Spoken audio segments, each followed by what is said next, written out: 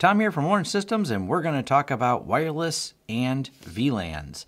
Any large corporate or enterprise network nowadays pretty much all have wireless within them, and how do you deal with setting up VLANs? Even small home users are doing this very frequently now because they want to separate different things, and I've done a lot of videos on how to separate different devices onto separate networks. But how do you do it with one wireless device? We're going to dive into that.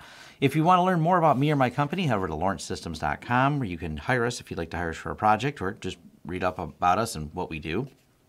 If you want to support the channel in other ways, there are affiliate links down below uh, for products and services that we talk about and can get you some deals and discounts and help out the channel. So in my hand is a UniFi Nano HD by Ubiquiti. I chose this because, well, it's in stock and I have a bunch of them and I've done a lot of UniFi videos. But we're not going to talk specifically about only UniFi, We're going to talk in general about VLANs and networking. So this is kind of sort of a part two.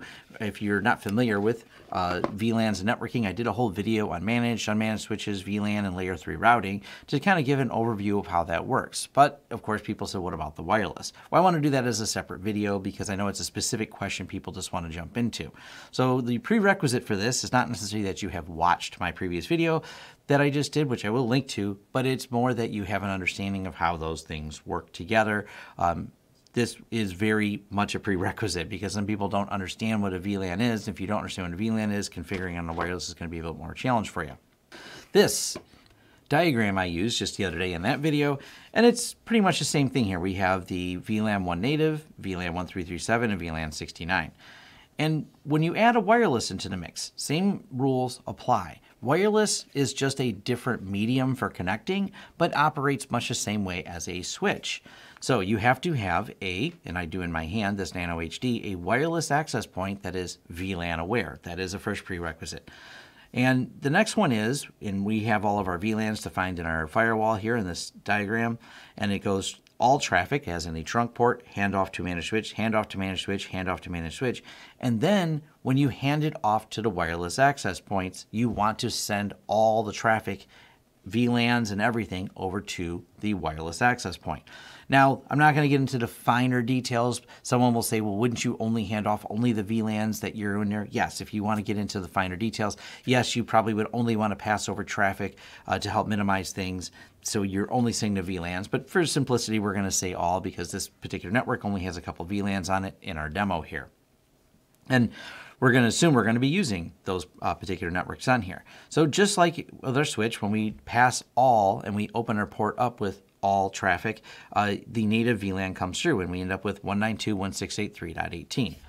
So that is on network native. But then when we take the VLAN tag 1337 and split it off, and we have a wireless access point that can do this, we end up with the device is getting the VLAN ID of 1337 and the IP address of 10.13.37.104, just like we have here in a demo. We're going to get into a little bit more technical in a second.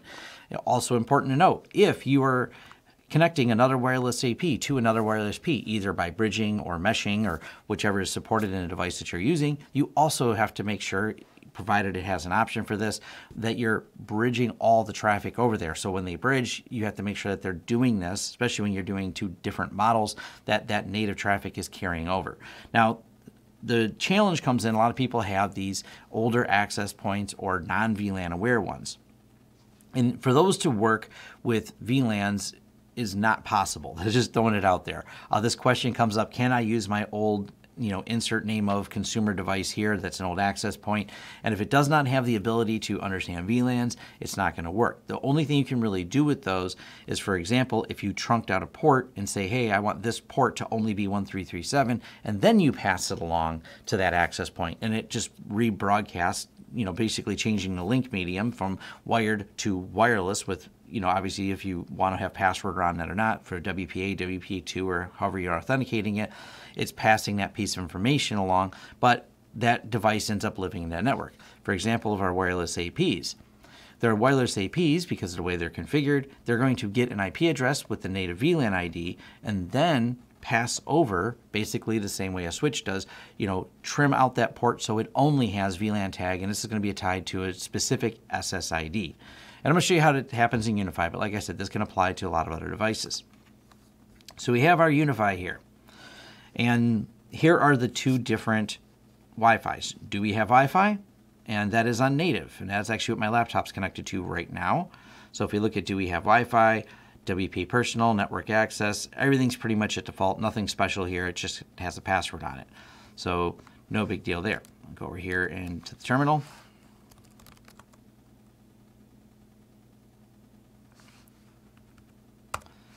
Actually clear and it, right here. So we're connected to that and it's 192.168.3.18. And if we go here, just to prove it's connected, do we have Wi-Fi? All right. What happens when we select a different network? Let's say Pwnage and stuff. So we'll connect to that network. Now we have the IP address 10.13.37.104.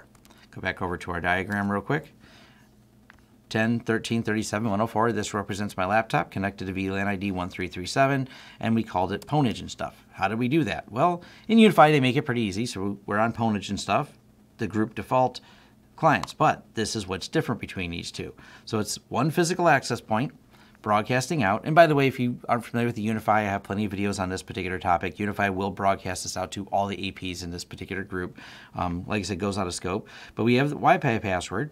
But then we have down here, VLAN ID 1337. This is where the VLAN gets put in is its side, provided you have a VLAN aware Wi-Fi access point, you put the VLAN ID and tie it to the SSID. So let's create another one real quick. So we're going to go and create a new network.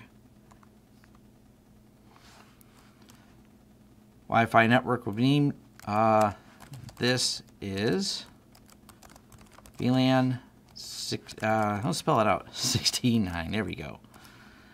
All right, WP personal, eh, I guess we'll put personal we'll just set a password of 1, 2, 3, 4, 5, 6, 7, 8. There we go. Make it something really simple. We're not worried about any policies. You can apply guest policies. That's going to be dependent on the different Wi-Fi, and etc. Now we need to put in the VLAN ID. The VLAN ID for this is going to be 69. Really simple. So we put in VLAN ID 69, done. All right, so the system's provisioned, takes a minute, pushes out the settings, and now you can see we have the Pwnage and stuff at 1337, and this is VLAN 69 with VLAN 69, and I set the password to 1234567 So let's go ahead and select network and connect to it. This is VLAN 69. Connect. All right, we are connected to it. And go back over here to our terminal. And you can see 172.69.124.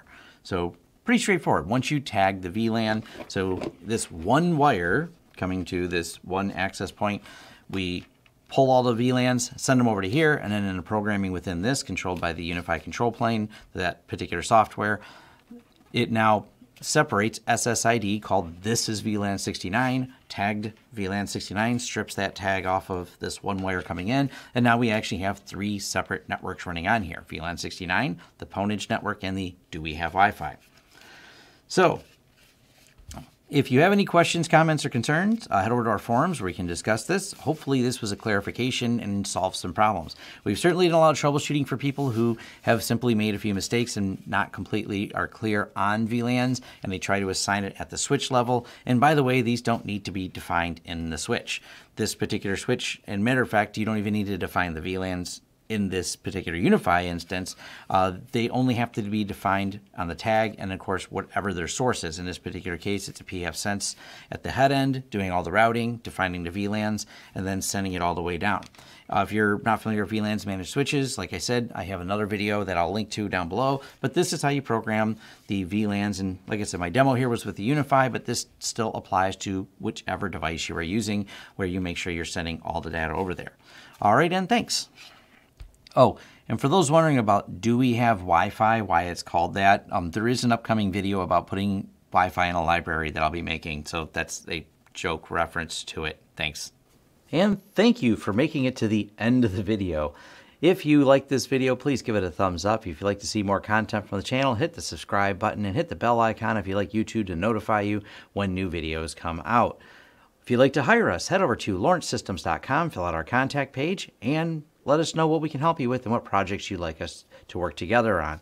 If you want to carry on the discussion, head over to forums.lawrencesystems.com where we can carry on the discussion about this video, other videos, or other tech topics in general. Even suggestions for new videos, they're accepted right there on our forums, which are free. Also, if you'd like to help the channel out in other ways, head over to our affiliate page. We have a lot of great tech offers for you. And once again, thanks for watching and see you next time.